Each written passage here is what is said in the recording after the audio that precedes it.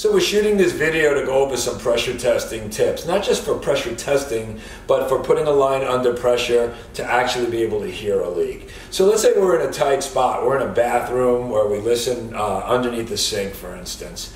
Um, when we touch that stub out, we're going to hear it with the pipe probe. We're going to hear that sound of running water in a pipe. That's the sound of a leak if everything is off and not running. However, we always want to back ourselves up. So if we hear it that way, the next thing we want to do is we want to pump air into that line.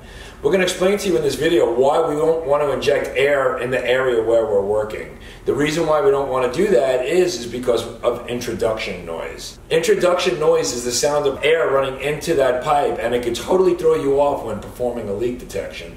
So if you're in a bathroom, you always want to find, so let's say it's on the cold water side, you always want to find another source, the next closest bathroom to it, an outside hose spigot on a hose bib, or anything you can as far as being non-destructive, not having a cut pipe, of course. So if we're under a bathroom, we're going to be listening maybe with the soft sided listening disc underneath the sink, um, maybe with the deck plate near a vanity, wherever it might be. But we also have somebody else injecting air only from another source so that we could actually get over the actual sound of the leak and mark the location. So now we have two sources. We heard it running with the pipe probe. Now we're hearing it either boil or we're hearing the air coming out of the line with the soft-sided listening disc, deck plate, or whatever it might be. This all goes by my theory of measure twice and cut once.